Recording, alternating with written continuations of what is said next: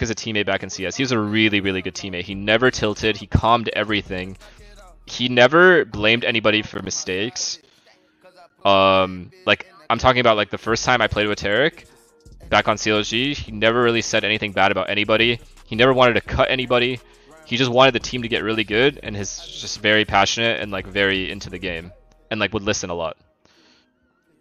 Uh.